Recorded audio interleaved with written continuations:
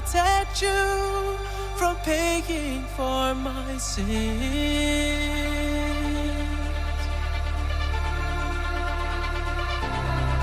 And I've been walking this earth long enough that that's a gift.